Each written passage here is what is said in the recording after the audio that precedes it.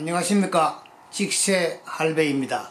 사진은 역시 역광 촬영입니다.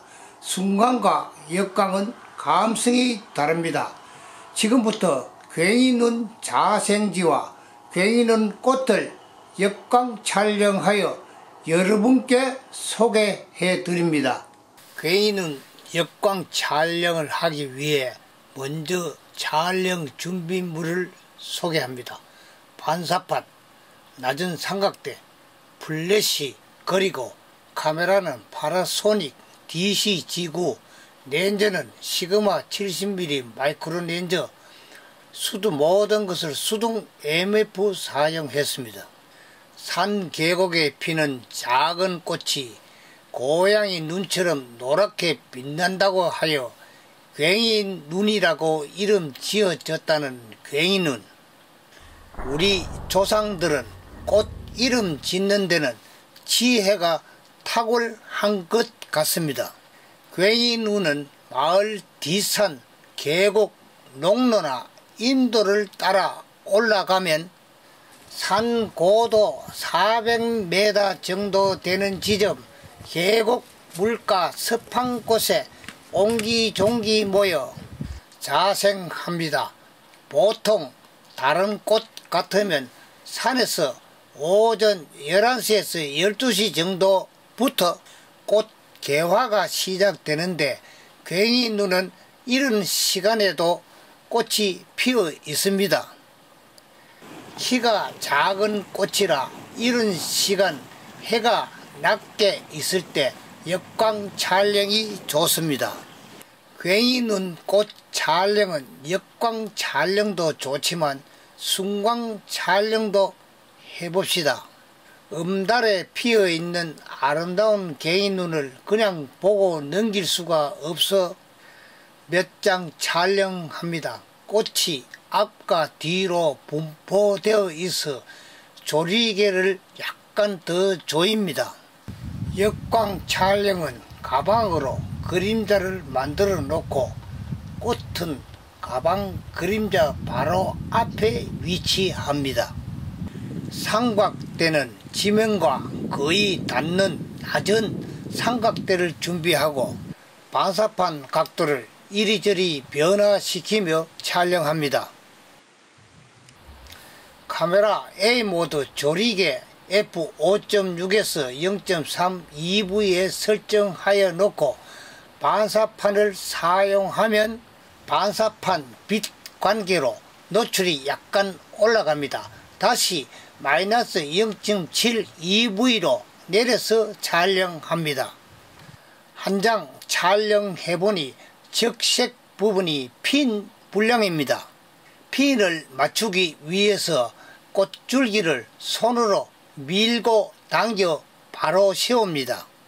먼저 꽃이 섬세하게 디테일되는 것이 중요하기 때문에 노출 밝기를 auto 마이너스 0.7 EV에서 마이너스 0.3 EV 정도로 변화시켜 보면서 뒤 배경의 검은 정도를 보며 마음에 드는 배경 농도를 조정합니다. 물론 플래시를 사용해도 되지만 플래시광 조정과 위치 때문에 여러 각도로 반사시킬 수 있는 반사판보다 못합니다. 괜히는 역광 촬영은 반사판이나 플래시를 사용 안하면 이런 모양 사진이 됩니다.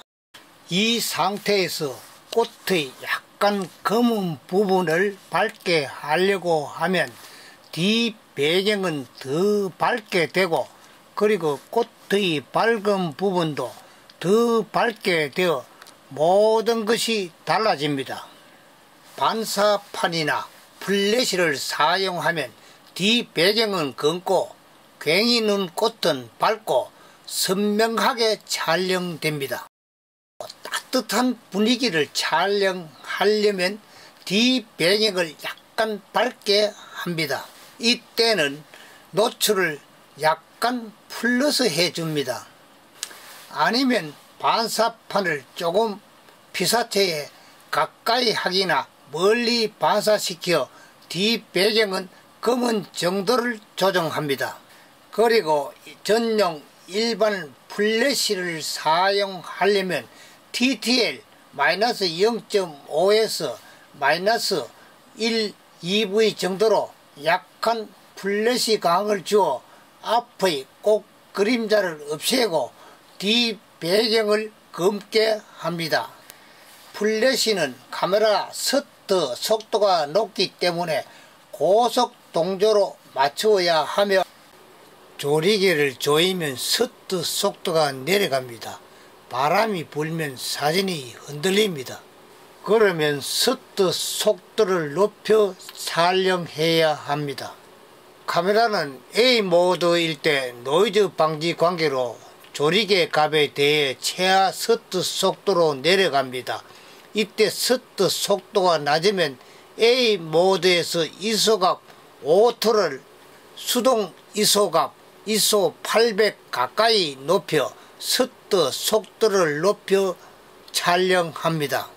반사판 사용은 반사판을 피사체 앞으로 옆으로 이동시키며 광량을 조정합니다. 이렇게 음달에서 촬영한 사진보다 낮게 빛이 들어오는 햇빛과 반사판을 이용한 사진은 좋은 감성을 나타냅니다. 봄 야생화는 3월 중순에 시작되어 거의 4월이면 끝납니다. 그리고 5월 하순이면 하고 현상이 생겨 지면에서 고사하거나 자취를 감춥니다.